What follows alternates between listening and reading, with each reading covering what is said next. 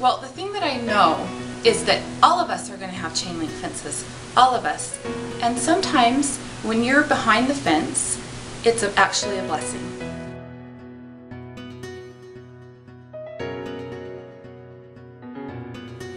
A couple of years ago, I went to a baseball game with a friend, and I was watching them warm up and get ready to play their game, and I was sitting in the bleachers, um, kind of on the front row, and there was a handicap boy next to me. He was in a wheelchair, and I watched him for a minute and didn't think much of it. Well, I started to watch him more as the as the practice and the game was taking place, and he would watch each ball as it went through the sky and was caught by the other person or as the bat hit it, he would watch each ball just with wonderment in his eyes. He would smile and look up and follow that ball. Well, at one point in the game, the pitcher threw the ball and the batter missed and the catcher missed and the ball started to roll towards us and directly for the boy in the wheelchair. And I looked over to see what he would do. He bent down with his right hand and he put his hand on the ground and acted like he was going to catch that ball because the ball was coming right towards him. I watched the ball come and I watched his hand and the ball in his hand never met. The ball met the fence and it rolled away from him. But, and so I was curious to kind of see what his reaction would be. And I looked over and I remember that I was amazed at what he did. He pretended that he had that ball in his hand, he picked it up and pretended to throw it with a great big smile on his face. And then he looked around at everyone and just smiled and felt like he really had just, you know, done something special.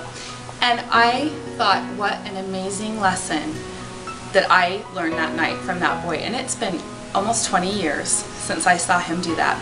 And I have related this story so many times in my life. And I've thought about the chain link fences that are sometimes put in our way.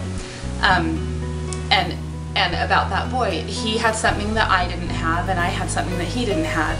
Have he had um, a positive, wonderful attitude, and he was able to see the good in things and to kind of insert himself in whatever way he could into situations. And I had my legs, and it was kind of um, you know something that I didn't always realize what a blessing it was to have my legs and that I kind of wasn't held back because like in the way that he was because I have my legs and I could do things. And then as I've gotten older and I've had experiences, I've kind of wondered about the literal and the figurative, you know, chain link fences that we put up in our lives. And sometimes these fences are put in front of us and we have nothing to do. There's nothing we can control. There's nothing we can do to move it. And sometimes they're, we put them up ourselves because maybe we feel insecure about something or don't want to insert ourselves or participate in something. And I think back about um, experiences, and one of the most um, meaningful things that's happened to me in the past couple of years is I gave birth to a little stillborn daughter, and her name was Molly. Sorry. and I kind of felt like the boy in the wheelchair. I felt like I was behind this chain link fence, and I was watching everybody everybody else's lives go on and they were just happy and they were playing the game and they were doing it well and I was stuck. I was behind the fence. I couldn't do anything about it and I was the girl who was in the back of the bleachers with my arms folded and mad for a while and that's okay. I think it's okay to be mad sometimes when things that are hard happen in your life and things that you don't have control of. But I thought about that boy even through this experience and I thought about his attitude and I thought about what he did and that I knew that my kids needed me to not just be mad and sit on the back of the bleachers. I knew that I needed to insert myself in whatever way I could. No, I didn't have a baby.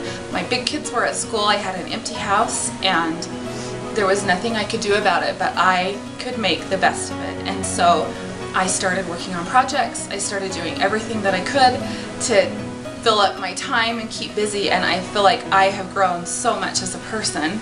Um, with that experience. And sometimes, well, the thing that I know is that all of us are going to have chain link fences. All of us. And sometimes when you're behind the fence, it's actually a blessing because you get to sit back, you get to breathe, you get to relax, and sometimes you get to see things that other people don't see.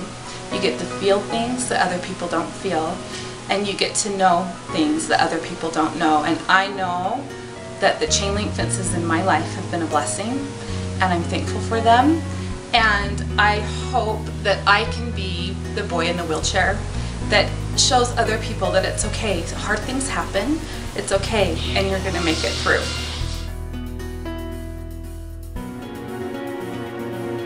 I just want you to know that you are strong and you can do it. And whether you're playing the game or you're sitting on the other side of the fence, things are going to work out.